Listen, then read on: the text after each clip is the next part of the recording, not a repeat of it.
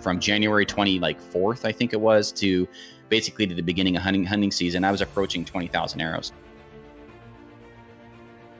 Because it does make it look like it's a little bit faster, and, and that's you know that's the sexy thing is to have a, a really fast bow.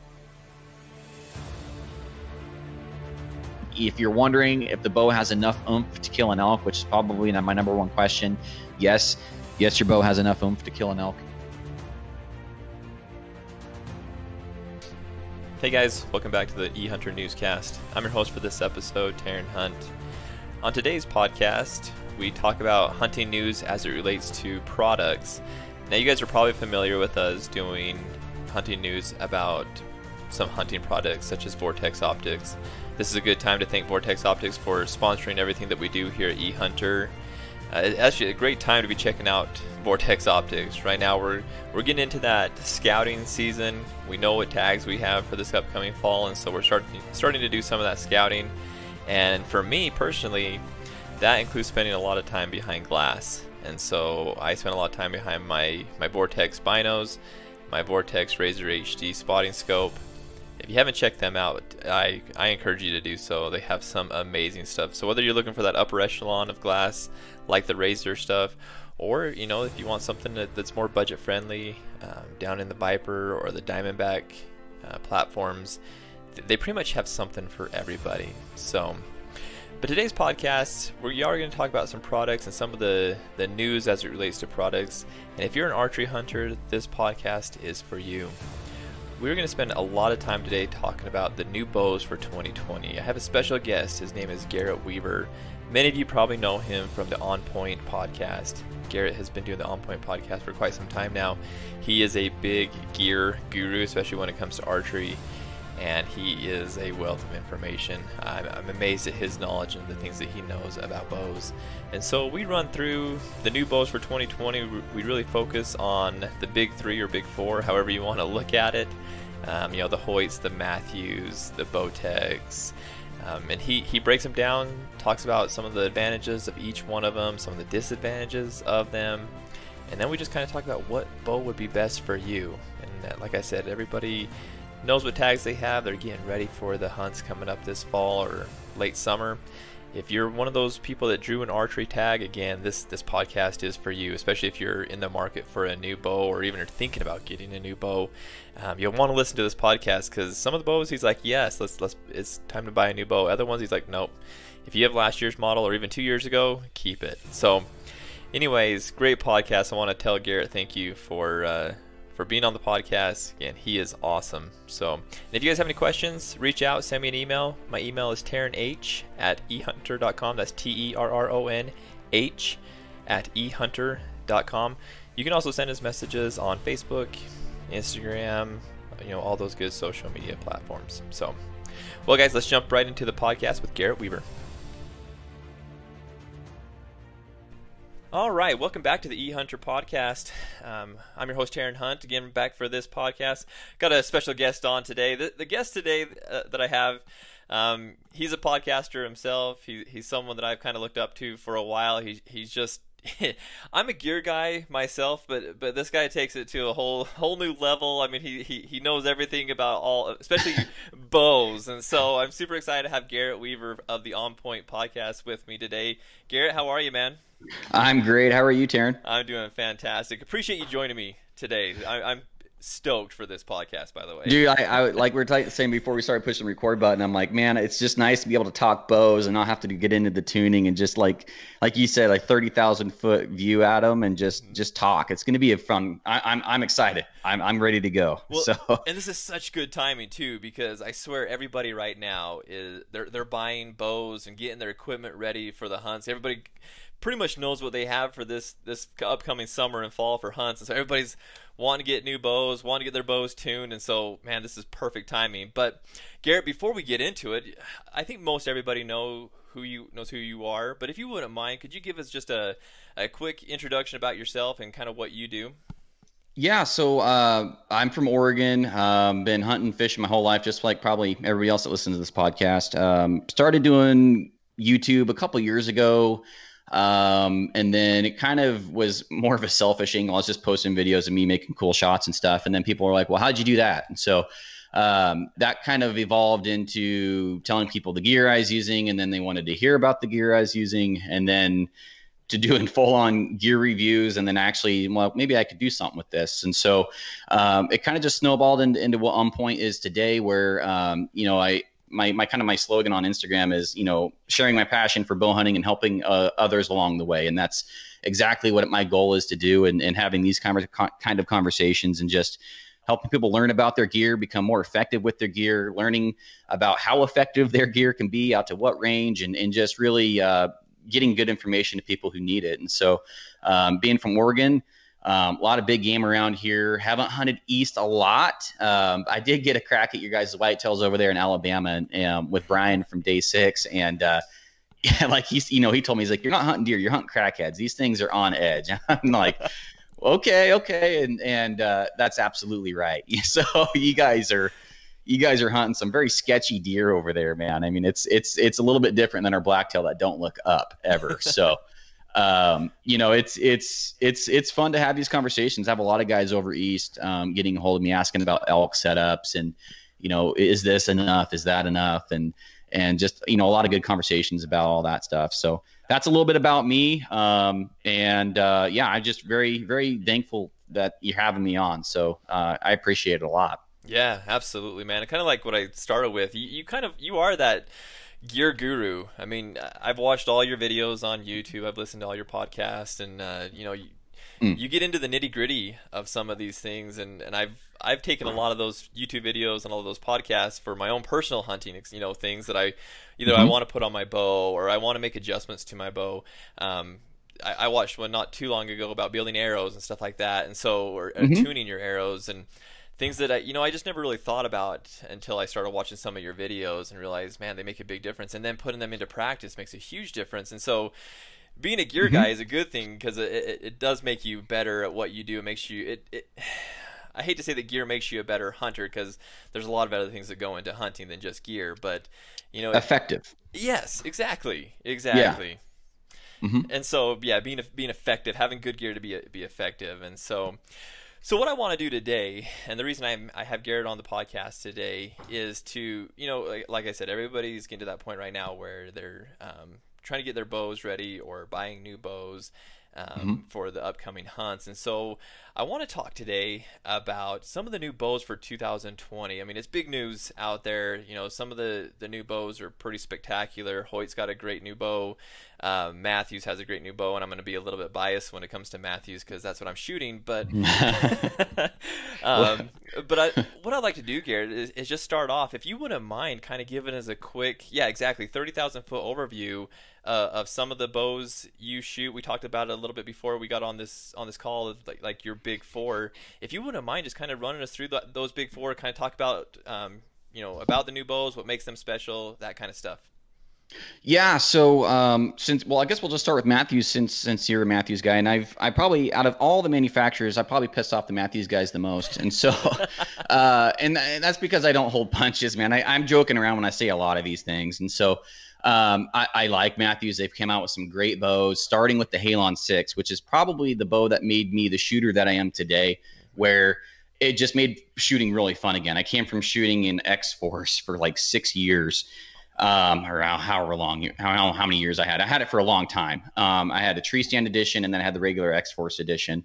And from going from that to a Halon was like a huge jump in accuracy. is way more shootable, way more fun to shoot. Um, I did some really cool things with that bow, and it, you know, I I just really became, you know, much better archer because of that bow. Because I just, you know, I the year I bought that Halon, I bought or I, I launched about um, I was I'm, I'm kind of guy that would actually keep track of it. So I had charts and stuff. I shot uh, before August. I was at 18,000 arrows um, from January 20 like fourth, I think it was, to basically to the beginning of hunting hunting season. I was approaching 20,000 arrows. So um, yeah, and all that um, up until about a month before hunting season was on the factory string, which impressed the hell out of me. They were using zebra strings, um, and yeah, so fantastic platform to build off of. And why I bring up the Halon 6 is because they've been kind of riding that Halon 6 for a few years. So, you, you know, you kind of had the, the grid pattern with the, you know, the Z7s and the Creeds and all that stuff. the grid pattern risers. Well, now they've just been riding the Halon kind of style riser, and you know they had the Halon, and then they had I called it the mini Halon. Pissed a lot of mathews guys off. It's not a mini Halon. I'm like, yes, it is. Basically, it And is. then yeah, you know, and and they flirted with every ATA. Uh, I think the original Halon was like 31 Mhm. and then they went to 32 and then they went below and then now they're the 28 and 31 and a half and then the traverse was like 32 i think Mhm. and so they've pretty much done everything they can do with that platform. And so now we're here with the vxr 28 and the vxr 31 and a half. So um, so what you're getting with that bow is is you're getting the same cams you you know the cross centric cam system. And then what some differences this year though is you know I, I I think that you know when you start running out of of performance that you can put into a bow, you start adding flashy kind of gadgets or little bit of changes or something like that. And I don't mean to de- be demeaning when I bring up something like the switch weight um, or the SCS, the Silent Connect system, Mhm. but these aren't things that really um, you know the the switch weight. You guys, you can be that's a performance changer, but the SCS system. Not really. Uh, the bridged riser they went with this year, I do like that because bridge bridged bridged risers are known to be more stable and more shootable. Um, but you're having the same cams for quite a few years now. They did add the switch weight technology, which makes it allowable to change weights in five pound increments without having to touch an Allen wrench um, on the limb bolts. So um, that's really cool. You don't have to swap cams or anything like that or limbs really. Um, you can get everything out of one basically module. And if you have a different switch weight, you can switch it out with just with just an Allen wrench, pretty much. So um, I do like what they did there, but um, you know they've they've been really dead in the hand. They've been really quiet. They've been fast. Um, and I just don't feel like the other bows really have been pushing them that much to really change the game that much. Um, I think they've kind of been on cruise control for the last couple years, and I say that because they they were ahead with the Halon. I mean, they really that year was that was an awesome bow, and uh, and you know some Matthew guys are probably getting mad at me here, but I think we're going to see Matthew switch it up this year. They've got to. They've they've ridden that platform long enough that it's it's time to push themselves into a corner and come out with something new. And um, I don't think they ever will because they're an Eastern bow company. Uh, but I'd love to see a carbon bow Yes. come from Mathews. Uh, Mhm. me personally, uh, you know, they could sell that thing for sixteen to eighteen hundred bucks, um, and I think they would kill it. But most of their guys are hunting out of tree stands. Most of their guys are hunting out of blinds where they're desi- where they're de- designing and developing these things. And I just don't know if they really care about you know the guy packing you know around a bow for eight miles. Mhm. So um, that's why I think you're seeing you know bows approaching five pounds in weight from Mathews. So um, that's just my opinion. I mean, a lot of this uh, disclaimer, a lot of this is, is opinion based, guys, um, and that's why I do speed tests and I go over the the, the specs here because that's all factual. But um, most of what I'm saying here is opinion based, and if you don't agree with it, in in the VXR 31, like Terron, 31 and a half is your bow. That's your bow, man. Yeah. I mean, I that's that's totally cool. But um, you know, for 1199 bucks, it's a great value. It's on par, unfortunately, with all the other bow prices nowadays. They're Yeah. getting up there. It's ridiculous. Um, yeah, and, and the 28's a hundred bucks cheaper. So um, with a six inch brace height, that's been pretty standard. Um, with with the rest of the models they've come out with, 80 to 85 percent let off. Um, they're flirting around four and a half pounds. Uh, the, you know, the 28's at 4.44, and and uh, you're almost a quarter pound heavier with the 31 and a half. So um, you're getting a pretty darn heavy bow. But unfortunately, also, um, I shouldn't say unfortunately, you know, heavier bows are inherently more uh, stable. Um, but man, I like being able to being able to put that weight where I want it, not being forced to just carry it around, you know. Mhm. So that's that's just my opinion. So what what made you go with the 31 and a half? You know, when I went to the shop and shot both of the, the 28 and the 31 and a half, I, I just felt like I was a bit more stable with that. And, and you know what? To your point, so when I went, I shot every bow. I shot the the Hoyt, I shot the Elite, I shot all these other bows. I love the Hoyt for one reason. This may be a good se- segue into going to talk about Hoyt, but it was so light. I loved how light that RX4 was compared to the Mathews. But but when I started shooting it, and I and I shot, I didn't shoot as many arrows as you as you shot, I'm sure through them. But um, as I started shooting through them, that uh, the Mathews, the 31 and a half, just felt so stable to me. Like you said, Mhm. dead in the hand, and, and so much smoother to me, and I know it shouldn't feel any smoother than the 28. It, I mean, they're basically sitting on the same platform, um, but it did. It felt very smooth, mm-hmm. very fast, very you know. I just just everything that I really wanted, and I think a bow kind of speaks to a person when they shoot it, mm-hmm. um, and when and that one really did. As soon as I, I shot, I was like, yeah, that that's it. That's that's my baby, right there. Yep.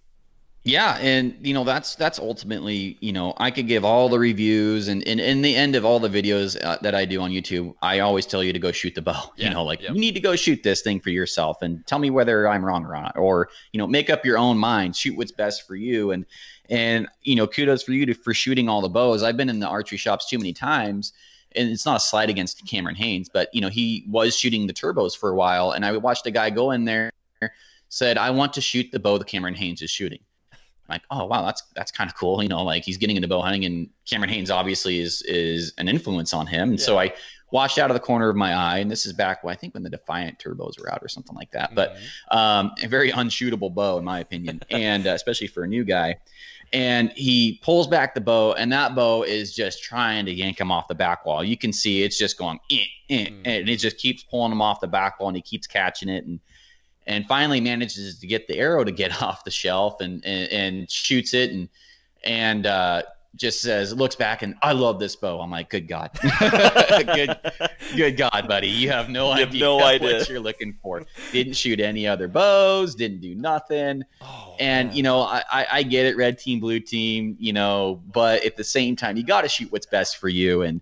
And this year, um, you know, I, I went with the first year they they had the Hoyt uh, RX series come out. I bought it and it was despite everything I preach about, you know, like accuracy first. What are you the most accurate with? What can you be repeatable? What do you like the most?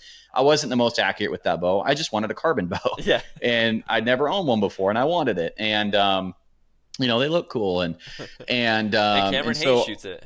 yeah, shit, man. Cameron Hanes was shooting it that year. And uh so, you know, I shot that bow and, you know, killed a few animals with it and and never really made an amazing shot with it. You know, all my shots were kill shots and and I think they were all, you know, in the lungs, but they were never like shooting behind the pin. You know, it was never super accurate to me for me anyways. And and um and so I, you know, I went back to my, you know, let's let's shoot what's best for us and then um you know, just kind of made that point. I just want to make that point here um, that with with the Hoyts, I've been extremely critical of the Hoyts for the last since well since they came out with the RX series the Redwork series, and and I think um, that was really pushing the limit of prices at that time because that was a six hundred dollar or sixteen hundred dollar bow.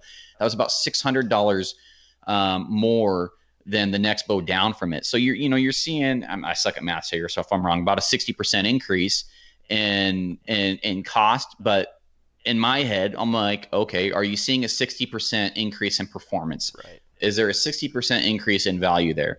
And straight up there there just wasn't. Not, I, I don't know anybody that's bought a redwork series bow that would that could tell you straight face that there's 60% better than any of the aluminum aluminum series bows that they have. And so um, if you want to get into the into the hoyts here um, you know matthew or uh, pse's got um, uh, carbon bows as well and, and we can start comparing those but um, you know, stop me if you if you want to make a point or have any questions in here. But no, um, I, I, think let's do that. Let's jump into the the Hoyt the RX4. What you know, the details of it, um, what makes it special. Like I said, the thing that made it special to me was just. Uh, well, one, it's a carbon bow. It looks cool. It's what Cameron Hanes mm-hmm. shoots. I, I get all that. And that that is cool. Don't get me wrong. But the thing that was for me, it was it was just so freaking light. I loved how light that thing was. But yeah, let's jump right. into the specs of it, the details of it. So yeah, so if you're looking at like the the alpha and the ultra, um, all right, can you still hear me there? Yeah. Okay. Yeah, gotcha. Okay, my screen went black. So oh. if you're looking at the alpha, um, you're at 29 and a half, and pretty much the specs are pretty darn similar between these and the aluminum bows, right? It's just carbon's the only difference, yeah. and really weight. So um, 29 and a half for the uh, ATA for the alpha, 34 for the ultra, and then the turbos are 31. Um, the brace heights for the alpha are six and one eighths, which is a pretty healthy, pretty happy medium. Um, that's that's right in there uh, for a lot of where the bows are at today. The ultra expectedly should be longer. It's at six and three quarters, and the turbo's at five and seven eighths, which is short. Wow. You're getting to the point where my Evoke 31 is right now, and when I don't shoot a lot and then I go back out and hit the range, I might hit my arm because my form isn't where it should be. Mm-hmm. It, it, it, just it, we can get into this here, but you know, shorter axle to axle bows. I don't know if you want me to break that. Yeah, let's stuff, do it. Yeah, but- I think that that'd be great information for people. yeah, so you know the, the Mathews have six, and like I said, that's right there in the money with where a lot of bow manufacturers kind of want to be. It's good for speed, it's good for not hitting your forearm. It's kind of right in the middle. Um, if I'm a newer shooter, I would probably want to stick with at least bottom bottom minimum a six inch uh, brace height, and then try and get closer to seven. So if I'm if I'm shooting an ultra, I'm giving myself a lot more forgiving bow. Um, it's a lot more stable on the shot. What I mean by stable, it's a longer bow. Um, it's 34 inches axle to axle versus a 29 and a half inch axle to axle. And if you're a new guy, I probably wouldn't even look at the turbo. You can shoot it and, and see if you like it. You know, do your own thing. But I personally wouldn't wouldn't go that route. Um, but you know, inherently, it's going to allow the shooter to make more mistakes. Uh, a shorter brace height will, and you're going to get a more speed out of a shorter brace height, but you're going to get more forgiving out of a longer, and that's basically um, the differences there. Thirty thousand foot view Well, differences. Well, a new shooter's going to want more of that forgiveness rather than the speed. I mean, you you can make up the, for the speed with accuracy if you can be accurate with it. The, the forgiveness is what they need. Yeah, and and for guys that are hunting extremely cold, I think I take this in consideration as well. For guys that are hunting extreme temperatures and they're having a big puffy jacket, and then they snag their sleeve on the way to shooting a deer Mm-hmm. when they release that arrow, that's a factor, and that happens every year. And a lot of guys, I mean, I'm kind of a dork. I'll be out on on a hot day if I haven't done it yet, and I have a cold weather hunt coming up. Um, I'm gonna wear what I'm wearing for that hunt just to make sure that my bino harness isn't catching on anything, my sleeves aren't catching on anything, my hood isn't catching on anything. Is there going to be any complications before that hunt comes around? Can I get rid of any of these errors now before I hit the woods? And I don't think guys really think about that. I have friends that shoot a quarter or a, they'll either shorten their D loop up or they'll shorten the draw up uh, draw length up just slightly if they're hunting a cold weather because they know that there's going to be a bigger area around their forearm that's going to catch on a string. So when you start doing that with brace heights, that three six that extra three quarters of a brace height is going to help. I mean Yeah. that that's definitely going to be a factor. So um, you know I, I would push guys towards you know the ultra. Um, it's a sweetheart of a bow. It's a turd for speed, yeah, sure, but you know we can get into that debate this- here too. What is the speed on that on the Ultra? Do you, do you know off the top of your head? Uh, 334, and that is ATA. Um, uh, so IBO would probably be about nine feet per second slower than that. So, um, or, or maybe eight feet per second slower than that. And a lot of bows, I don't know if you want to get into that, but ATA and IBO are different. Right. Um, uh, IBO is a little bit um, slower. ATA is a little bit more accurate, um, in my opinion, if you look at the way they measure them. Um, but um, ATA is, is I think they use it because it looks better, Yeah. or maybe maybe it's because it's more accurate. I don't know, but um, I think it's because it looks better. I, I've seen that peaking up a little bit more using the ATA because it does make it look like Mm-hmm. it's a little bit faster, and, and that's you know that's the sexy thing is to have a, a really fast bow, and so if you can make that look a little bit faster, I think they're using that more. well, if you look at PSE, they give you both, and I'm like, Yes. dude, kudos to you guys. Yeah. so I love that, but um, so yeah, they're using ATA, so you can basically take about eight feet per second off of any of those speeds. So um, I would say probably quick math, 226 uh, for an ultra, Okay. realistically. And it's funny because everybody that watches the reviews is like, dude, your speeds are slow. I'm like, no, you know, you're going online and you're hopping on a calculator and you're not taking in consideration heavy arrows and it, they're, they're more efficient because the you know you're losing less energy out of the bow and and guys really need to take a, a better look when they're when they're making those assumptions here. Um, not to get on a soapbox, but um, you know my, my speeds are often slower and on, on my videos. And, and there's there's a few reasons why. And if you if you start scratching the surface you'll see oh I see. He's shooting a 600 grain arrow. Right. and that that arrow is actually faster than it should be according to my calculator but is 400 grain arrows slower or 450 grain arrows slower um, and calculators don't take in consideration for that um, for the most part but But you're um, you're pretty upfront with that on your videos, saying you know what what grain of arrow you're shooting, and I've seen Yeah. videos where you're shooting several different weights of, of arrows and showing what those different speeds are as well.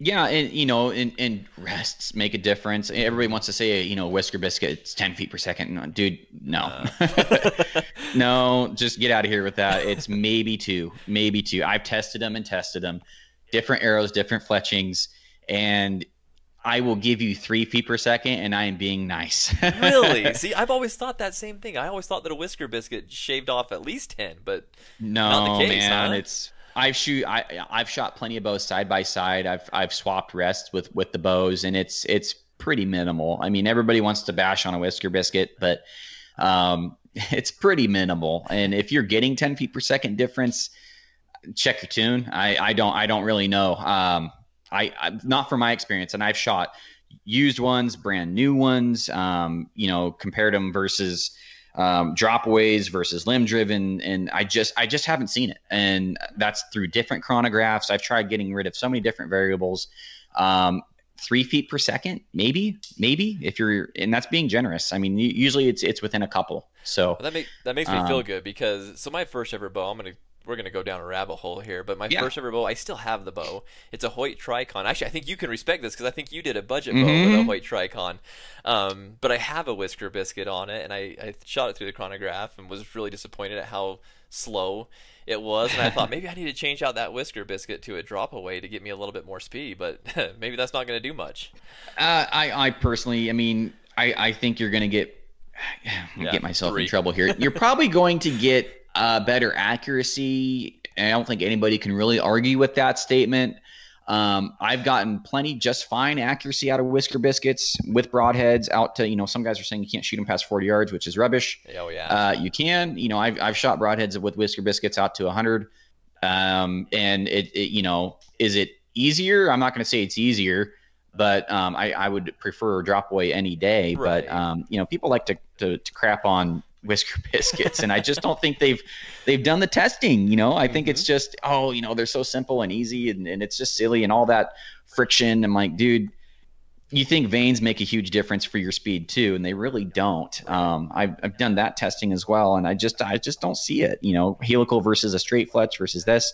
There's not a huge difference in in in the speed reduction there. You mean your shed velocity is pretty similar. So, um, but yeah, so the the the carbon bows over the um, aluminum bows, you're only gaining. Um, or you're only losing about four, um, you know, a half a pound max. Mhm. Um, you know that the alpha at aluminum is 4.3 pounds, and and then the carbon bow is 3.9. Um, I will I will talk about the the difference between that and the uh, the three and a half pound Mach one. So if you're going carbon, there's there's a few reasons why. Man, are they nice to hunt with in cold weather? And yes, if in Idaho in the freezing freaking snow, and it was like I was consciously like, man, my bow's not cold. That's nice. Like I've hunted with a uh, you know an aluminum bow my whole life, and the, that sucker would be freezing if you had to grab it. Well, that's that's a nice benefit to a carbon bow. Yeah. Performance wise, there's there's there's not really anything there. You're just a little bit of rate, weight reduction, but you're paying an extra six hundred dollars to have a warmer bow when you grab it in the snow, and to have a four tenths of a uh, you know less than half a pound weight reduction. Is that six hundred dollars really worth it?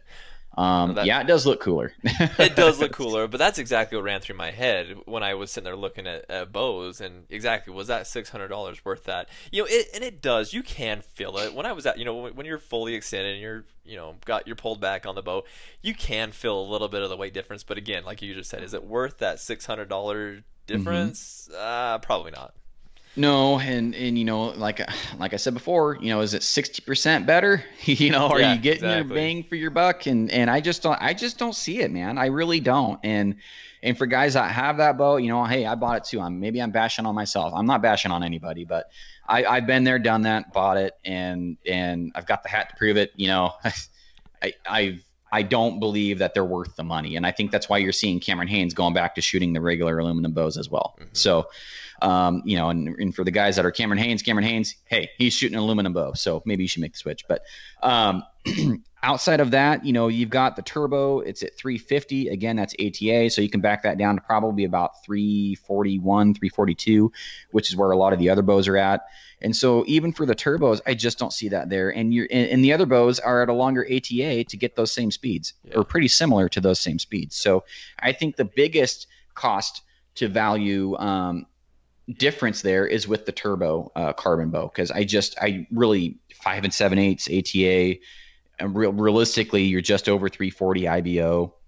You're still at four pounds. You're a 31 inch uh, ATA, which is kind of where I like. I like probably closer to 33, but um, I just, I just, man, that doesn't, that to me, that doesn't scream accuracy. Mm-hmm. So, um, but again, you can you can make your own decision there. Um, did you, do you have any questions over the Hoyt stuff or anything to add there? Did I miss anything? No, I, I think that's great. That that covers a lot of it. I've seen a lot of shooters go, you know, that are moving away from from Hoyt, going. Well, I shouldn't even say moving away from Hoyt, moving away from the, the RX series. Move, like you said, Cameron Hanes is moving to back to the aluminum bows. In fact, I think last yeah. year he shot the the Helix, right? Mm-hmm. Yep. And and so you know is that carbon is that warm bow whatever you know that cool look is it really worth it? But like you just mentioned it, it really comes down to accuracy whatever you get the most accuracy out of. So yeah and i i will say the highlight the highlight to hoyt is draw draw cycle. Man uh, probably some of the best draw cycles in the world. And when we compare that to like the Mathews that we've already talked about, it's a nicer draw cycle. It is easier to pull throughout. It's not as stiff. And what I mean by that is basically it just feels like you're pulling less weight when you're really pulling the same amount. So a Hoyt at 70 pounds to me pulls like a 66 pound bow, 67 pound bow, and then a Mathews at 70 pounds feels like 72. Yes, so it does. That's yeah, I mean that's that's in, in in the grips, man. Grips are Hoyt's always had my favorite grips for as long as I can remember. Um, you know, Mathews has got those kind of flat back kind of style grips, and they say that adds to accuracy. But the Hoyts are the so comfortable that like that's it to me that's a selling point. It's the biggest thing I miss about the Hoyt because that's what I have shot in the past is Hoyt, and this was my first year going to Mathews, and that honestly that it's silly to even say it, but mm-hmm. that was the thing that I missed the most was that Hoyt grip. That it, it is so comfortable. Oh, absolutely, absolutely, and and I think, like I said, they've had the, some of the best grips for for Years. for a long time. Yeah, yeah. Since the and, yeah, yeah, and uh, they're they're a good bow, man. I mean, they, they have a lot to offer. The the Hoyts at eighty pound, like the Ultra eighty pound, um, would be really uh, sweet shooting bow, and you gain quite a bit going to eighty pounds. Um, I'm not sure what quite the jump is there, but I have quite a few friends that if they buy one, they buy it at 80 pounder, and and they're they're a very good bow for for 80 pound bow. Um, probably feels like you're pulling 77 75 somewhere in there. Mm-hmm. um, you could probably you know get a few extra twists in a 70 pound bow and get it up to like 74 a lot of those bows come stock at 72 to 73 um, but I, with a little bit of uh, funking around uh, with with the bow you could get that thing up to 75 oh, nice. Um, you know so kind of happy of both worlds there. But um, out, outside of the Hoyt, man, that's really about it. I, I, if you want more speed and more performance, the Mathews is yours, but you're going to pay for it with weight, and you're going to pay for it with a with a harder to draw cycle. Um, Hoyt's back wall sucks. I've said it for a long time. Um, well, for me, they suck. If you love a spongy back wall and you shoot with back tension, they're a great bow. I mean, they are a fantastic bow for back tension shooters. You're not shooting off the limbs. It's not a super hard back wall, and um, and, and, it really allows you to shoot back tension better than, in my opinion, than a Mathews, which has got, eh, which I like, a solid back wall. Yes. And and it just doesn't budge. And so uh, this year, Hoyt did shore up their back walls a little bit. They are they are better than they have been in the past. There is still a little bit of sponge there, but it's probably 50% better than than last year's model. So um, that is something that I did like seeing them change, and um, that yeah, that was that was a welcoming sight for me. That was a that was a very um, very nice thing to see through Hoyt this year is they short up the back wall a little bit, but not not all the way, and that's probably kind of a happy medium right there. So um, if you pull really hard into the back wall and, and and I don't know if you want me to get into this, but if you pull hard into the back wall on a spongy bow, you're not going to pull yourself off target as easy. It's going to be um, probably more accurate for you. But if you're one of these guys that just is back tension the whole way, you're just you're pulling, pulling, pulling, and you're shooting a Mathews, you're going to pull yourself off,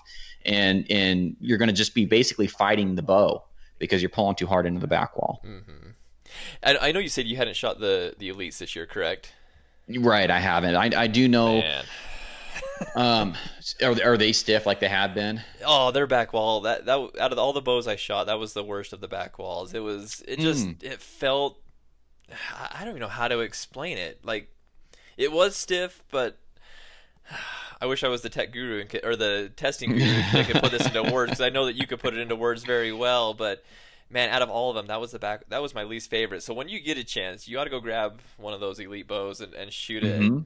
You'll probably think that the Hoyt has the most amazing back wall after you shoot that. Man, I didn't know there was that spongy. Oh. I will tell you the thing I like about this year's uh, elites is the quarter inch uh, draw changes, and I think that was pretty slick. I, I was like, kudos to you, uh, elite, for doing that because that's pretty cool, man. Um, and there's a lot, you know, half inch is a lot. yeah, it is. Half inches. Why have we been doing that for so many years? And and there's a reason guys play with D loop lengths and and and wrist, um, you know, basically wrist mount lengths and and length of pull with their trigger releases or caliper releases, and and it's because you know there's there's a lot of reasons, but you know, quarter inch draw. Um, length changes are pretty sweet and i wouldn't mind seeing that on the rest of the bows and i i suspect other guys will copy that what, what do you think about the new? Uh, not to get on elite, because I know you haven't shot that, but what do you think about that new uh, tuning system that they have? Have you seen what they're doing with those?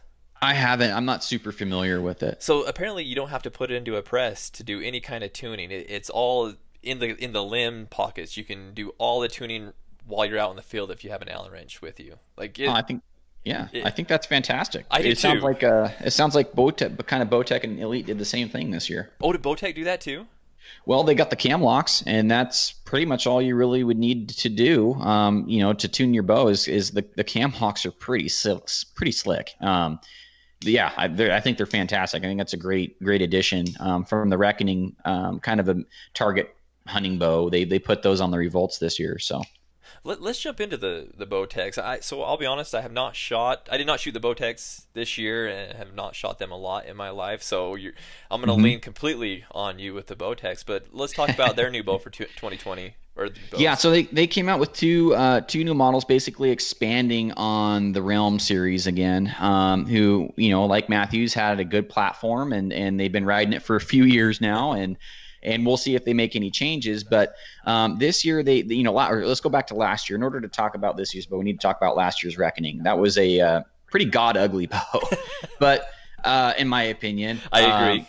it was like, wow, that's you- I'm going to use that to hit a deer. Yeah. Um, but so it had the cam lock technology, which basically allows you to um, laterally move the cam left to right, basically shim the cam over without having to tear down the bow or do anything. It's just basically two screws. You loosen one, tighten the other to move it um, one way or the other, and and it makes it makes basically um, tuning the bow. You don't have to have a bow press. You don't have to go to a bow shop. I think that's fantastic. I love that.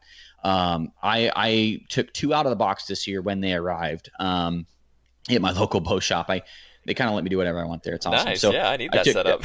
yeah, um, well, my buddy owns it, and my, my other buddy works there. And so when I'm not there and, and a new bow arrives, he says, "Hey, I got one set up, 29 inches, 70 pound, already set up for you." I'm like, "Perfect." You know, yes. that's what I that's what I test them all for. And so um, he just he just basically you know first thing he does is sets it up for me, calls me, and then you know it's ready for me to get there and film. So. Uh, it's pretty slick. I, I really do appreciate it. Yeah. Um, but I got to set these ones up. I'm like, let me let me set those ones up. I just want to see how easy they are to tune with that new um, deadlock. And um, within less than 10 minutes, I had a bullet hole out of both of them. I mean, it was fast. I never even Yeah. touched the deadlocks. It was it was like um, 7 8 center shot or 13 16 center shot, and boom, bullet hole. I'm like, holy crap. Like that. that's fantastic. So um, I, I've been critical of, of Bowtech in the past, probably like a lot of folks have, you know, with their limbs when they were doing, um, you know, having a lot of limb issues. Mhm. Those days are pretty much behind them. Um, you know, they've they've got a really solid platform now, and this Revolt and Revolt X, um, which I've got mixed opinions on the Revolt X depending on who you are. Um, it, it's a really good bow to buy, and so we're looking at um, out out of all the lineups this year, I think Bowtech was the smartest, uh, straight up. Um, I think they were extremely smart. So they went with a 30 inch axle to axle bow, but they went with a longer brace height with that, which I think is fantastic. Typically, when you see people go with a uh, shorter uh, axle to axle, the brace height will shrink with it, Right. and I don't really know why that is. Maybe it's performance. I don't know. But they went the opposite direction and they went with a 33 inch axle to axle called the Revolt X, which is a six and a half inch brace height, which is right on the money. So both of these bows are extremely shootable.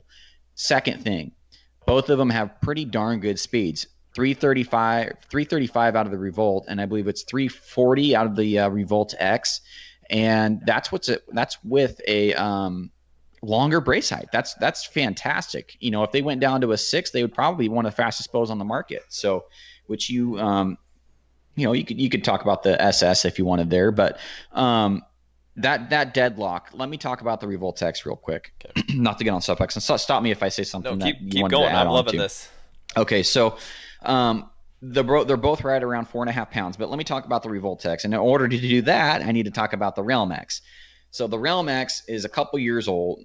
Couple, yeah, a couple years old, and it's still going for six to seven hundred bucks on the used market, which wow. is insane. Guys are still paying really good money for a Realm X. Well, there's a reason. That's probably the best bow Bowtech has ever created. Period. I mean, that is bar none. If you took a vote from guys who shoot who shoot Bowtech, they would probably vote for the Realm X over any other bow, um, percentage wise. So that has been a, a fantastic bow. It was rock solid, and there wasn't really a lot of issues with that bow ever. It had a really good performance. It was about five to six feet per second faster than the Revolt X. The only, literally, one of the only differences is deadlock technology. So instead of going from split yokes, which are easy breezy, beautiful cover girl to tune, mm-hmm. uh, you know, they went with the deadlock, which is extremely easy to tune. So if you're a new guy and you're wanting to listen to podcasts and listen to YouTube or watch YouTube videos learn how to work on your own bow and learn about cam lean and you know and center shot and all this stuff, the Revolt X and you want to be you do it yourself or the Revolt or the Revolt X is probably your bow this year. Reason being is because you don't need a bow press, you don't need a bunch of money to get invested, and it's super extremely easy to get that bow to tune. Now, over the over the Realm X, super easy, super tunable, but it had yokes and you needed a bow press. That's really the only difference between that bow and the Revolt X. And you're getting a little bit more performance out of the Realm X as far as speed wise goes. So if you have access to a press and you have access to doing your own tuning, you might as well just stick with the Realm X. But if you're looking to get into the game or looking to maybe just get a newer bow and you really loved your Realm X and the Revolt X as your bow, you're only losing about five feet per second, as I said. So um, both great bows, um, you know, good price points. Yeah. Um, what is the price point on the Revolt? Yeah, you're looking at about eleven hundred bucks. Okay, it's right there with yeah. most of the other ones except for Yep, they're super adjustable. You know, your draw lengths go from like 25 and then um, 25 to 31 on the Revolt X, and then 26 to 31 on the Revolt. Um, and and they, they really fit a long, broad range of shooters, and and they came out with it, came out with a fantastic bow this year, and. and and um, you know they've they've had some really nice shooting bows the last couple years, but that that cam lock or the deadlock, whatever you want to call it, on the hunting bows this year, and then also swapping the brace heights where the six and a half should actually be on the 30.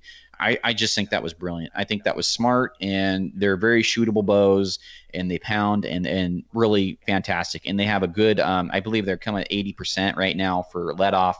Um, and uh, and yeah, and I believe they still have the performance um, disc on there too, so you can swap it from comfort to performance mode. So if you did want to have um, you know, literally like no valley and have that bow shoot like a, a Hoyt turbo, you could. Oh, nice. which, which, I don't know why you would, but um, yeah. So sorry, it's a dig at Hoyt. Um, I love it. so, so um, yeah, so that's you know I, I I'm being really nice to Bowtech this year because they earned it, and and, and man, I, I think it's I think they hit a home run this year, and, and they deserve uh, kudos for that.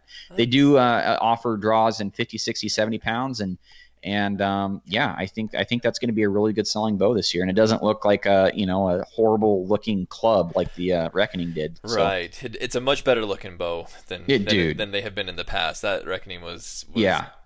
Oh, yeah, night ugly. and day. And yeah. and if like I said, if you have the Realm X, I, you know personally, I'd save your money. But um, if you're like if you're wanting to get something new and you're or you're new to the game, you want to get into tuning, that is your bow. Well, and that's the same thing. I mean, similar to the Mathews, like you said, they're still building off that same platform that they have for a couple of years yep. now. Like Mathews, if you have a Vertix, don't go buy a VXR. I, I don't see a reason to do that personally. I mean, do what you yeah. want. It's your it's your money and your own your own thing. But kind of yeah. same thing with Bowtech. Yeah, if you're if if you're happy with your realm, just just keep it and yeah keep going. and they and they aim really well i mean a lot of these bows um you know they've been copying each other um Oh, yeah. and you know there's there's been plenty of that going around and and and you know a lot of these guys are widening their limbs for a more stable platform they're starting to get caged risers you know they're starting to add all these these target um qualities to the hunting rigs and that's kind of what you're seeing is target accuracy out of a hunting rig Mhm. which they've been preaching for a lot of years, but now they're actually finally making the actual changes on the shooting platforms. You know, maybe extending the riser a little bit, um, widening out, widening the limbs out. You're getting giant freaking limb pockets now, and and you're starting to see better shooting platforms for most of most of the uh, manufacturers. Well, you're seeing a lot of that target accuracy out of some of these hunting bows because they're making those changes, which is really it for us. Mhm. us that's all. I'm you know I'm not a target shooter. I'm a hunter, and so for us to hunt, we we appreciate those changes. So Absolutely, absolutely. so uh, one other bow I want to uh, talk about before we move on to kind of our next topic. Um, there was big news few gosh few months ago with uh, John Dudley making the transition from Hmm. Hoyt to to PSE, and everybody thought that he was just absolutely bat you know what crazy to to do that because Hoyt was so Mhm. amazing, and that's what Cameron Hanes and everybody shot. Um, I, I can't imagine John Dudley going to PSE to go into a uh, lower class bow. You know, he he's just he likes the best of the best, and so hmm so let's talk about the PSE uh, for 2020, what it looks like, and um, Yeah. maybe why he made that move. Well, uh, John Dudley, I don't know the guy personally, but I, you know, from looking at it as an outsider looking in, um, John Dudley wants to do what's best um, for the archery industry, in my opinion. You know, he offered to do bows for whoever. It just wasn't PSE. You know, he wants to do improvements and have his own perfect bow for each manufacturer, from my understanding. And PSE's like, oh hell yeah. Yeah, And so, um, Who you know, come on over. And, you know, in my opinion, Hoyt, this is where Hoyt leads the archery industry. They have the best ground game out of any bow manufacturer, period. You look at their roster for pro hunters, it is insane. It they is. have they have almost everybody. So um, they've got the best ground game. And so losing Dudley, yeah, that's a hit, but um, you know they're they're almost better at marketing than, than they are at anything else. That they have some really good ground game, and. I'll leave it at that. Um, P, John Dudley moving away from PSE. Um, you know, maybe they didn't want to work with them on creating their own bow. You know, they they kind of had the Cameron Hanes edition, which was just you know strings and and logos and stuff, but. I think Dudley was wanting to do more than that, and that's why you saw PSE kind of welcome him over and like, "Hey, we'll take your suggestions. Come on over here, baby." You know, like we'll we'll take you. And so he did. He made some he made some changes to the to you know with the NTN series out of the PSEs, and um, you know I I think that he hit a home run. But you also starting to see do you know he's doing that with with Spot Hogg now too, and so um, you know I think he's he's kind of just throwing that out there, and he's being you know very entrepreneurialistic. Um, however you say that word, you know, very yeah yeah, um, you know, he's putting himself out there and he's he's making that dough and he's making hay while it's while while it's growing. You know what I'm saying? So he's got the hype, he's got he's got the following, he's cashing on cashing in on that cow right now is what you're seeing. And um, you know, Spot Hogg is the next one that you're going to see a Nock On series. Mark my words, you're going to see one. Um, and you know, good for him. So I don't know if it was him swapping to PSE because he thinks it's the best platform. I think it was the next platform to take on him. Well, I, I kind of thought that same thing. Again, I'm, I haven't been a PSE fan or follower or anything like that. I haven't shot one of them in, in years. I, I mean, I shot the one this year, but uh, haven't carried one in the hills hunting. And and so when I saw him go there, I, I wonder what PSE will look like two or three years from now with him kind of Mhm. being a, mastermind behind it because you're right he I, I agree with you i think he wants the best thing for the archery industry the um, archery hunting industry making the best bow possible and I, i'll be interested to see what pse does in the next two to three years Yeah, you know, I, I think they're gonna keep doing these these platforms, and then Dudley's gonna shoot, you know, shoot, shoot, shoot, shoot, shoot, see what he likes to see to change and make some changes to it, and um, that's that's what you're gonna see. So, um, you know, he he did a good job, you know, developing his. Uh, my buddy bought one. He says it's extremely stable platform. Um, some of the you know the the arrow stand thing, I don't know about that, man. I, that seems like a kind of a gadget more than a perform. yeah.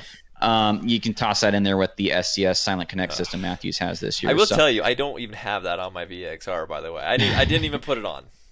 Isn't it like sixty bucks for a freaking string and a connector? Yes. Like it's it's uh, oh my god. My It- backpack yeah. has a bucket that I put it in. It straps to my backpack. I'm like, I, I don't need that. I don't want that. That's just an extra thing to get in the way. I'm, I'm not putting it on my boat. Yeah. Sorry. Yeah.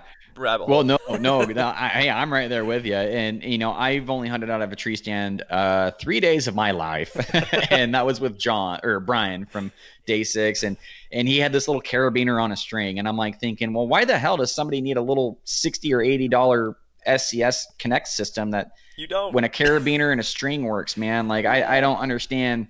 This is borderline stupid, you know. Like I I really don't know why somebody would buy that. So. Um, That's- you know, there's my dig at. Mathews. So now I've got I've got Hoyt and Mathews Oh now. man, So I'd say these Hoyt and Mathews guys, they're going to be burning down your Yeah. house here in a Yeah. little bit. yeah, well, I I know I could go against, but I've got plenty of ammo against Bowtech, but they, they've treated they've treated me pretty well for the last couple years. So, Uh, um, but so the PSE man, um, you know, they had the bow of the year that they couldn't meet the demand, and so, um, you know, COVID hit, Mathews shut down for a while. Um, I, I I'll tell you a joke after we get off here about that, but um, so. Uh, they're they're having some manufacturing. Um, they're they're behind. You know, they're basically like a Spot Hogg. They are so far behind. Um, so they had the best bow of the year in my opinion, and that was with the PSE Mach One.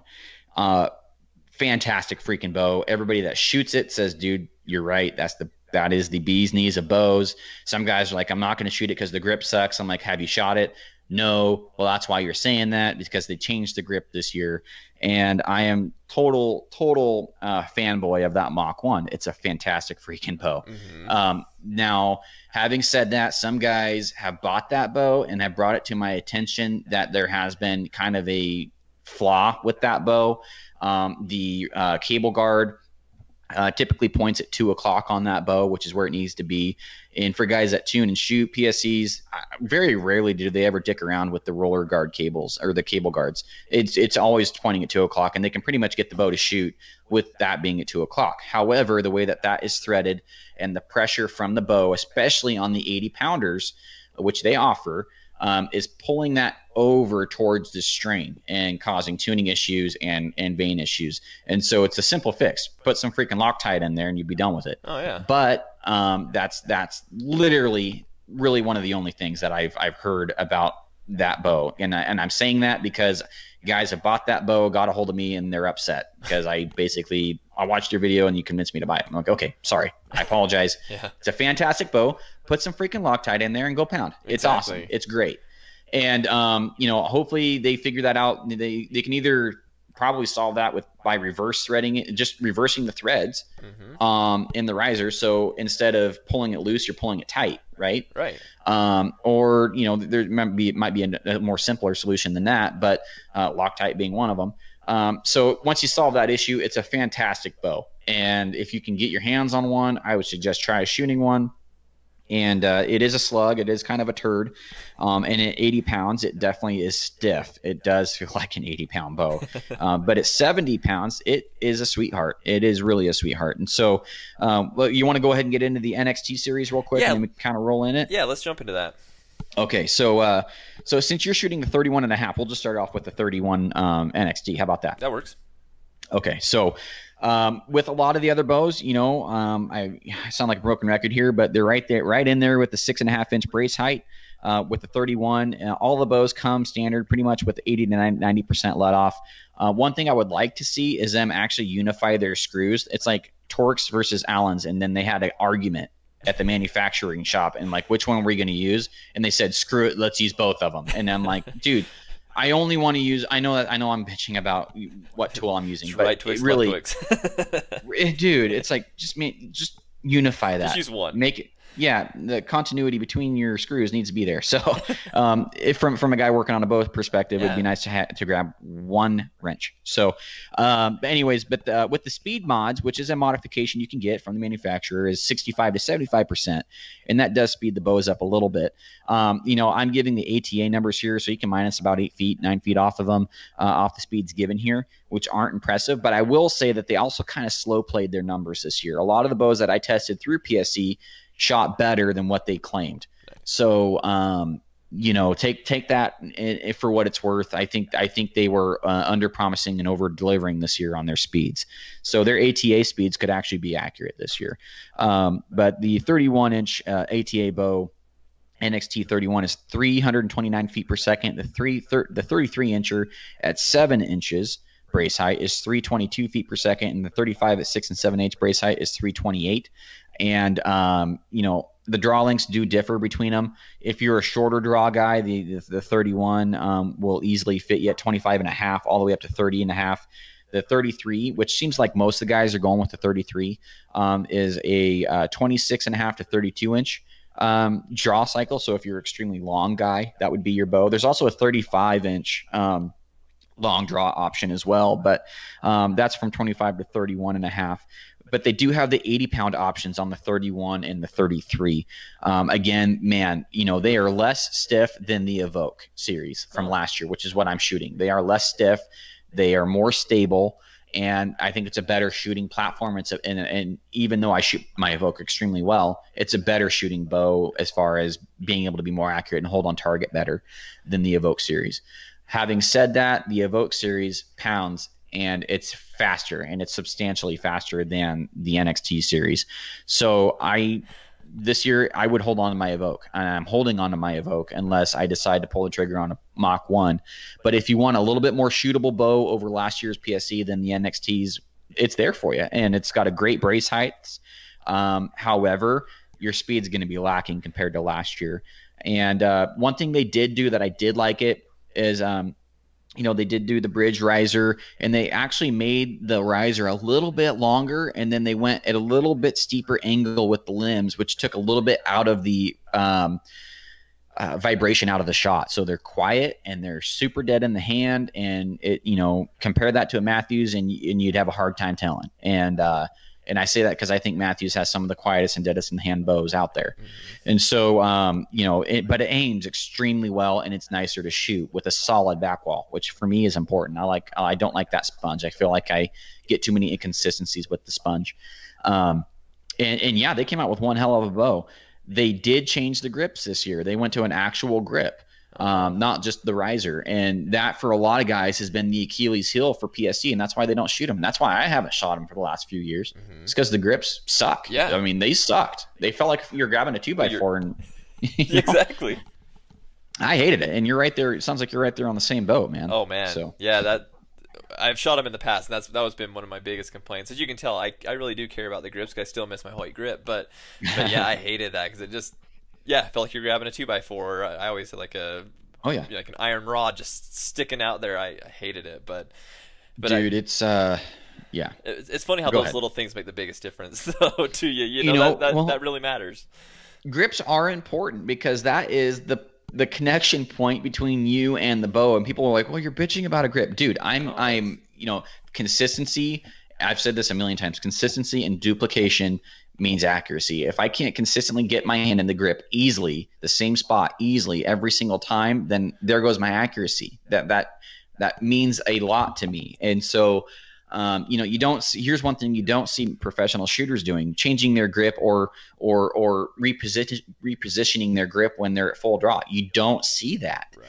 And when you don't have a grip that has a very easily consistent point of contact, then you're losing something. and and you know they they changed their grip and and, and if I remember right, it reminded me a lot of a Hoyt grip, and it was a little bit more ergonomic, probably a little bit more skinnier if I remember right. But I mean, it is right up there with a Hoyt grip, and it is fantastic. And uh, they did a great job changing some things around. And yes, you know, they're not speed demons this year, but speed really isn't everything. Yeah, I mean, that, like I said, the speed is the sexy thing people look at when they're looking at new bows. They'll look at that IBO right. speed or the AT speed just because it is like, yeah, it's that sexy thing that they want to see. Oh, they want to see fast. They, you know, as fast as we can possibly right. get. But really, at the end of the day, and for me, especially as a hunter, that that really isn't what matters. Uh, what matters to me is what I can be accurate with, and and so yeah, a, a little bit disappointing at a little bit lower speeds, but uh, I don't think that would ever, you know run me off from buying a PSE. I, I, I still think that's pretty impressive. That's still fast. It's pretty good. That's still yeah, fast. and dude, yeah, and and like I said, I think they're kind of slow playing their numbers this year. They're they're actually faster a lot of the time than what they're they're they're um, showing on their spec sheets. So, um, but and, and so I guess we can move into the Mach One here, and um, and, and my pick for bow of the year, and uh, they're they're fantastic. I I think that the grip over in the grips between this and the aluminum bows are different the grips for the carbon bows in the past absolutely freaking sucked. Probably the worst grips I've ever had. I mean, I would never wish that upon my worst enemy that you had to deal with that grip. I mean, if you liked it, good for you. But for me, no, thank you. I shot the old um, uh, carbon uh, PSEs prior to this model, and I shot them once, and I was like, nope, and then put it back. That's it. I'm like, one and done, baby. You suck. I am not shooting you again. You could be the best, smoothest drawing bow in the world, but that grip is so bad I'm not going to shoot it. So um, this year they changed the grip, and and I think when when Corey, um,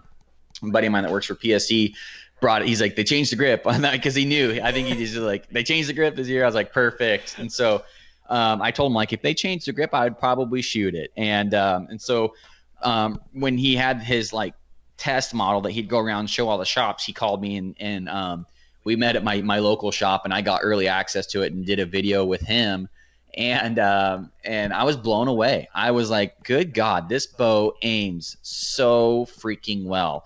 And I I have my personal um, you know biases towards what I want to see out of a bow. Right, I have what I shoot best for me. And that is about a 32 to 33 inch axle axle bow. That's about a six and a quarter inch brace height. That's about an 85% let off. That's a solid back wall. And um, yeah, that's really about it. And about four pounds, somewhere in there, 4.2 pounds, four pounds, somewhere in there. That's what I can build a really good bow for me. Well, Corey, this bow cam, comes in at six and one eighth inch, 80 to 90% let off, 32 and one eighth ATA, and 25 to 30 and a half or 25 to 30 and a half inch um, draw at a 340 or 332 speed. And with the speed mod, which I wouldn't do, is 340. And I'm thinking, good God, that's exactly why yeah. I love this bow. Yeah. Like, I'm like, you guys made Built me a bow. You. Thank you. yeah. I'm like, yeah, dude, you hit it out of the park on this one. Like, for me personally, you know, we should call it the on point series or something, man. Cause yeah. I, I, I love, I love that bow. And, um, you know, obviously as a shooter, it complements me and the my style the best mm-hmm. out of any other bow I shot this year. So, um, like I said, you know, they they are a little behind on the on their manufacturing, and I think that's probably why you're not seeing much hype about them. Um, it's because they're kind of hard to get a hold of, and and if you do shoot one, um, they're flying off the shelves. So um, we've got a couple here locally in Roseburg, Oregon. Um, we have an 80 pounder that was that had my name on it, and um, I went and shot it, and I told them it was too stiff, so it no longer has my name on it.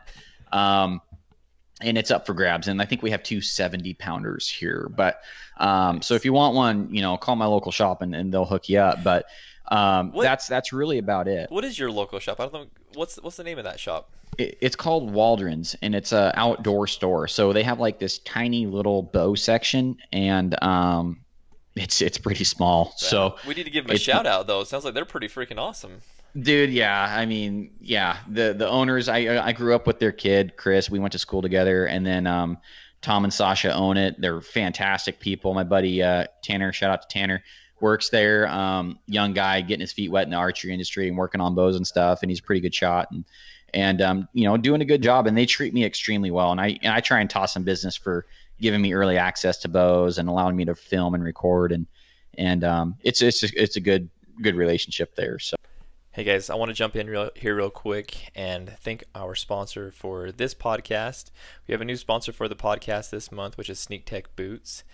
If you guys aren't familiar with SneekTec Boots, go online, check them out, or go to YouTube or Instagram and check them out. Um, what they are, they're not a normal boot. What they are is if you're an archery hunter and you've tried to sneak in on a deer, you've probably done the old adage of, of taking your boots off and sneaking in in your socks. And um, if you're like me, I have tender feet. I hate walking on rocks and sticks. And so, um, what these SneekTec boots do is they allow you to keep your normal boots on, and they will let you clip. They, what they are is they're they're basically a, a, a, the sole of the boot. They'll actually clip onto your boots. Um, they have a nice soft felt-like material on the bottom, so that after you have them clicked onto your boots when you're walking, you can walk walk very quietly. They're very durable, very strong, um, and they are very quiet. And so it's really nice because when you head out to the mountains, you can just clip them onto your backpack. Really easy to carry, really light to carry. And then when you get into that that position where you're trying to sneak in on a deer or an elk or whatever you're hunting, and you need to be quiet. Again, you don't have to take your boots off, and I, I love that thought. Um, I, I used to actually carry around moccasins to put on. I'd leave my boots and I'd put moccasins on. Um, but these are so much better because you, like I said, you can just clip them onto your boots, and, and you can. It takes you about, gosh, I don't know, 10 seconds to clip them on, and they're quiet to clip on. But then, as soon as they're on, you're back to the stock. It's really easy. Um, again, once you're done, you, you take them off your boots. You're still wearing the boots that you were wearing. You clip them back on your backpack, and you take some nice pictures with your trophy animal.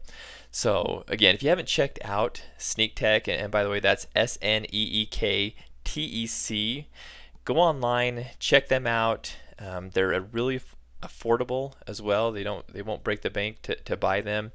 Um, and again, they're very durable. They'll last for a long time, especially as much as we you know have stocks on deer and elk and things like that. And so, I want to thank them for sponsoring this podcast this month. Um, appreciate their their partnership, their friendship. They're a great company, great company to work with as well. And that's one thing I do love is all the companies that we work with. You know, these are good people that we work with. They're honest. They want to do the best that they can for you. And and SneekTec is definitely one of those companies. So I wanted to take a quick minute out of this podcast to to thank them for sponsoring this podcast appreciate them. Again, go online, check them out, get you guys a pair of those those SneekTec boots, especially as you prepare for uh, for archer seasons coming up. Oh, oh that's cool. Yeah. That's very cool.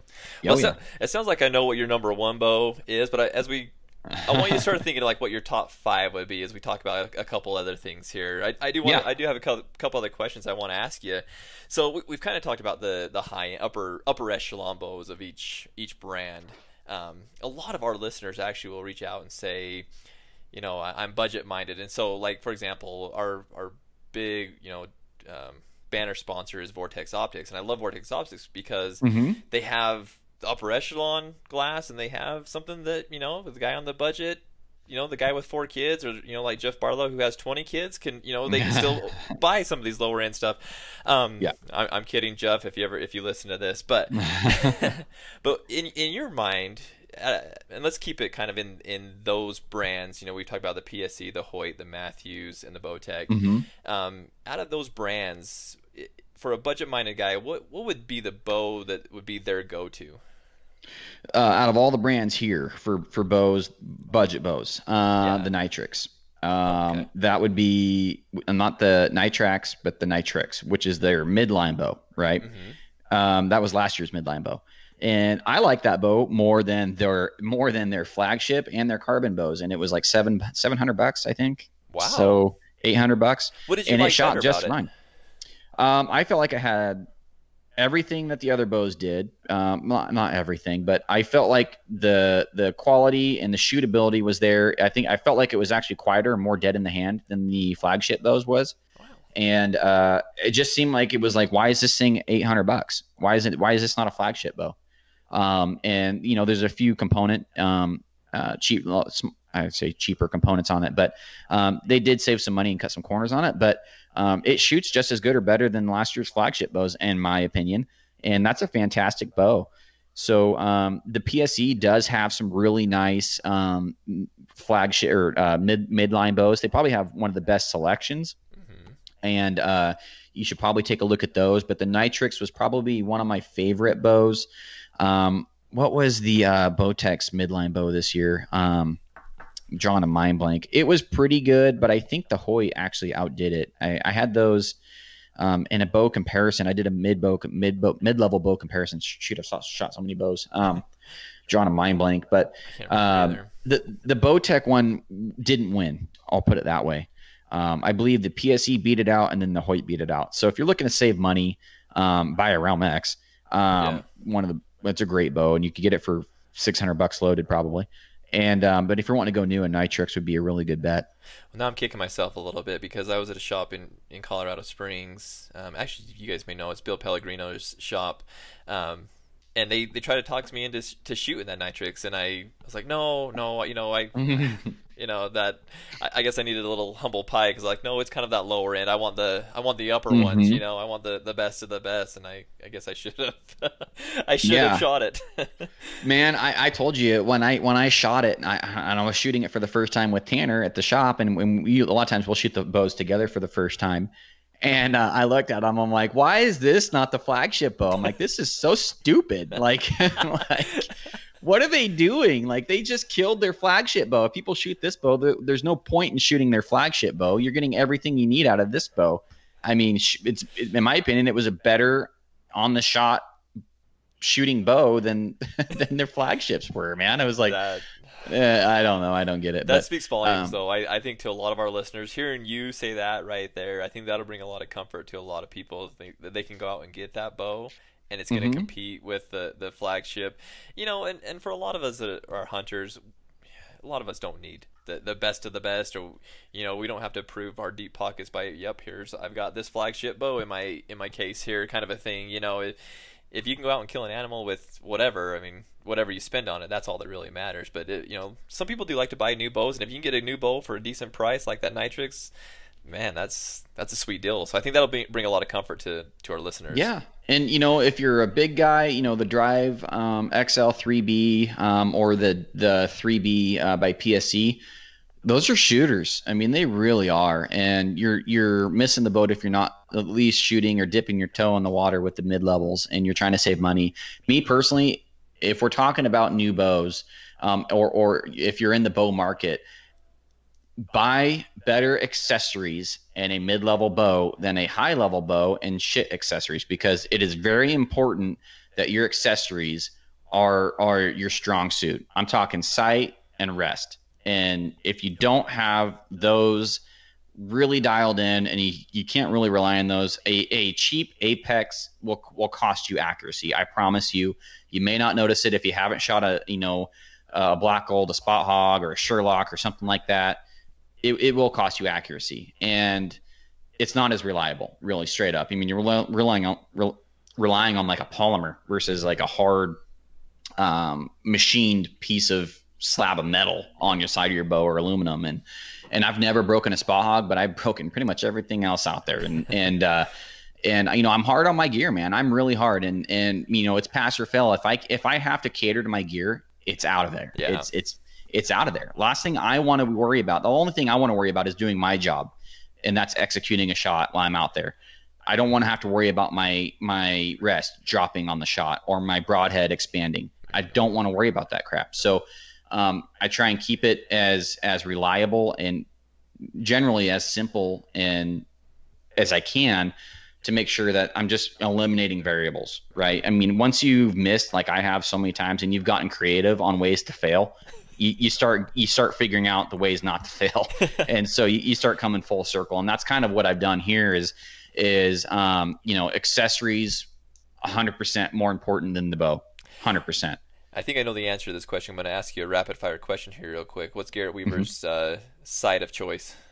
Uh, well, there's a few. Uh, if you're a fixed pin guy, so the, straight up answer the question. I won't give you the, the, roundabout answer. So right now, my favorite sight is the Fast Eddie XL three pin.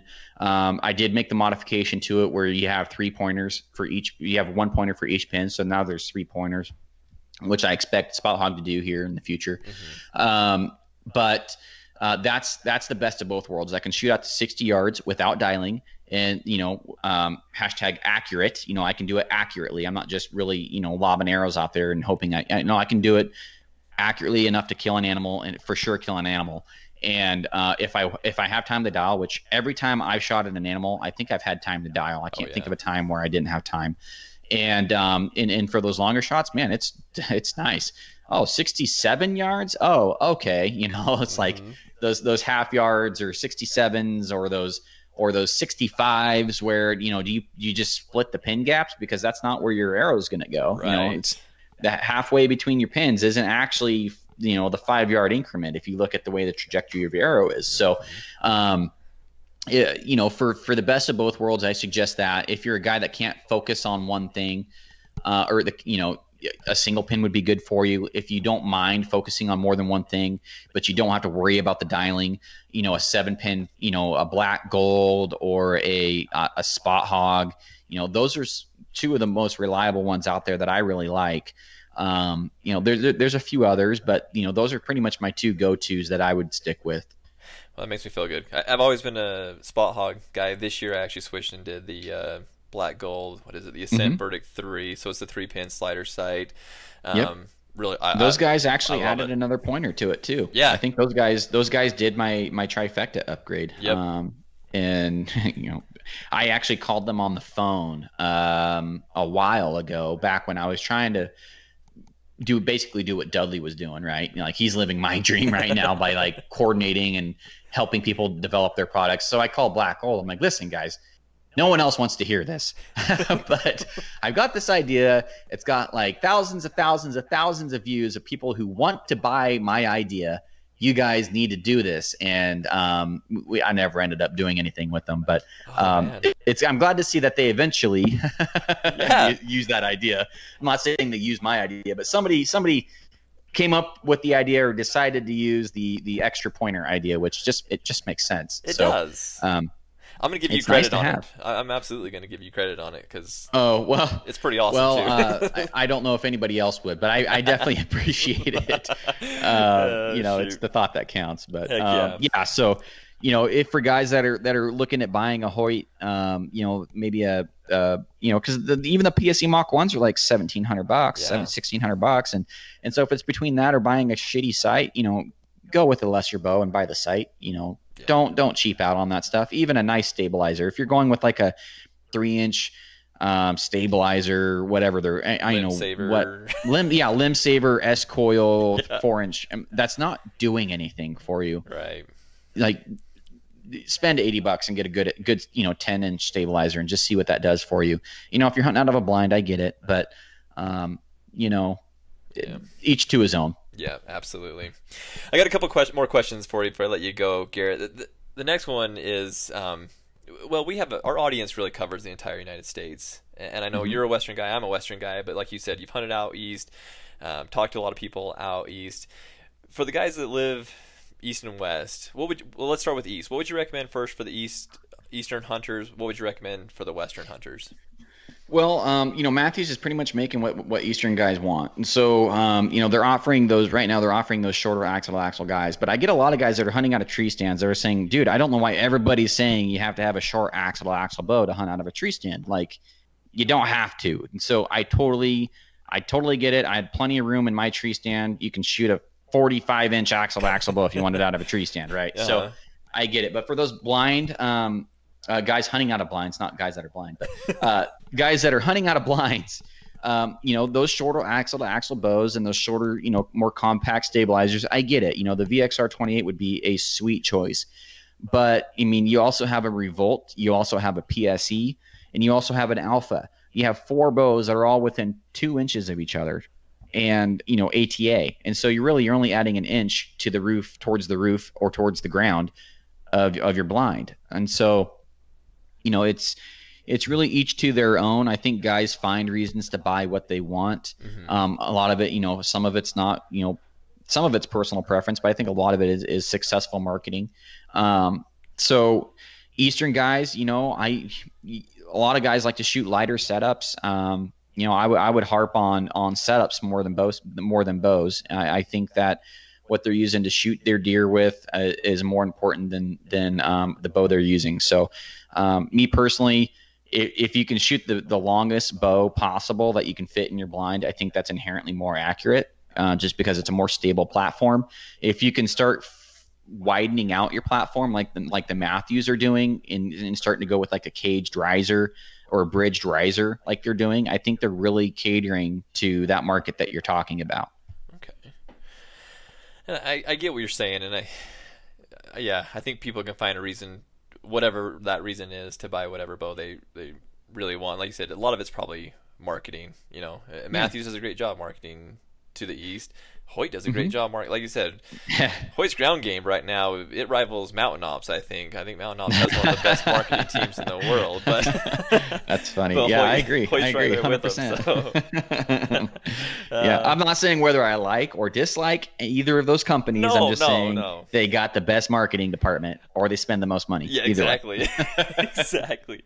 I love your approach, by the way, through this whole thing. Your everything is your your opinion and all that, and I, I, I love that. I hope people. I hope people appreciate your your whole approach because you do shoot everything. You do. I mean, like you said, you gave how many how many arrows did you shoot from January to August? Eighteen thousand. Eighteen. Well, that was the year I shot the Halon. I haven't done that since. I probably hang around ten thousand now. That's, um, that's still a whole lot more than any of the rest of us. More more than your average guy. Yeah, yeah, I shoot a tenth of that a year. So no.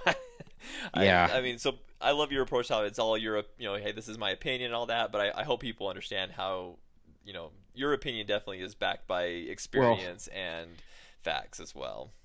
Well, I, I, appreciate them, and I was actually watching um, an Instagram clip, um, and, and, I guess this is kind of validate myself, which is kind of a douchey thing to do. But um, so you know, there I was watching a video of Levi Morgan talking about hinges. Mm-hmm and uh, and and how you know and, and, back tensions on the walls and and and how you know certain releases aren't probably good for limb stop rests. And and um, I'm just thinking like man if people were so objective like he was he is accuracy first right? Like he is accuracy. And granted yeah he gets paid millions through Mathews, but if he wasn't the most accurate I know I don't know if he wouldn't be shooting them. I know he shot Hoyt for a while I believe and mm-hmm. and um, you know arguably maybe didn't do as what hasn't done as well with Mathews but um, you know, the guy was talking about a hinge and how accuracy can depend on how hard you're pulling against the back wall and then the angle of your hand. And I'm like, you know, that's why I don't shoot that bow, or that's why I, I shoot this bow, or that's why um, I, I do some very small things that make a big difference. And and to see him talking in a similar fashion was like, dude, you know, I'm if I, if that guy's kind of if I'm echoing that guy, I'm probably on the right path. Yeah. So yeah, if there's anybody um, to emulate, that that's a pretty good one to emulate. Yeah, yeah, yeah. That guy's a freaking killer on and off the field. Mm-hmm. That guy is an absolute shooter, and um, you know, I take a lot of what he says with a with a huge grain of salt. Yeah. So. Well. Again, he's got the experience similar to you. You have that experience. You you've put the reps in. You've done the work, and so when when he says something and conversely with you when you say something there's a lot of experience that, that backs that up as well and a lot of well experience research studying you know i, I know you're kind yeah. of a, a, student of the game as well so um, oh yeah that, that makes a big difference as well yeah yeah absolutely so one more question for you, Garrett, and then I'll let you back to your day. Um, and I kind of asked you this, be, or sent this to you before we got on this call, and kind of mentioned it before. But what would be your top five bows for 2020? Oh, uh, so Mach 1, number one, obviously. Um, Revolt X would probably be up there. I actually liked the Hoyt lineups more this year. Um, and my shoulders, you know, all those arrows that I brag about shooting and stuff, they do take a shoulder or a, a toll on my shoulders. I, I don't have a great draw.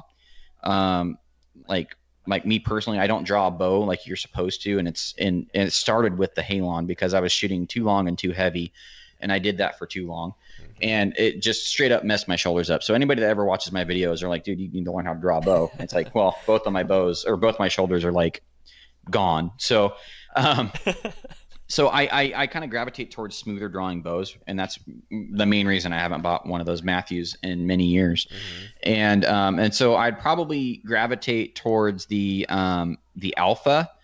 Uh, through Hoyt. I wouldn't mess with the with the carbon bow, but the alpha was really right there. The um the the actually the VXR 28 um, being a little bit lighter, I did like that, and I could tell the difference. And I didn't really notice a difference in how either of them held differently. Um, I, I, in the video, I believe I even said, you know, I expect to like the 31 and a half better. When I drew and shot the 28, I'm like, ah, I might have to shoot them both again now. Yeah, I remember and, that. Yeah.